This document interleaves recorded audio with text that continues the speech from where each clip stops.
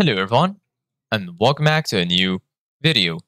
In this video, I'm to show you guys how you can have two OneDrive accounts on one computer.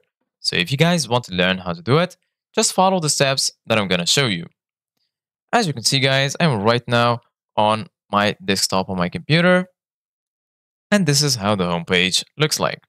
So basically guys, right now in order to go to your OneDrive folder, first of all, go ahead and open the File Explorer. If you don't find this right here, just go to the Start menu and then type File Explorer. Then you're going to find this right here.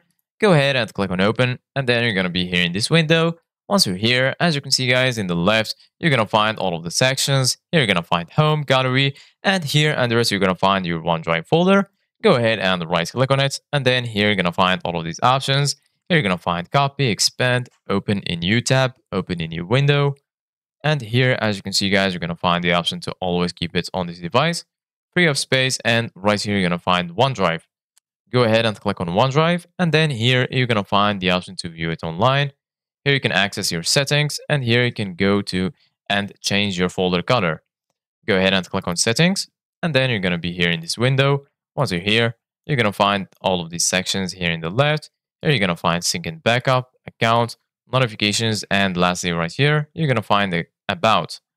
So right now, go to account, and then here, as you can see guys, you're going to find your actual account.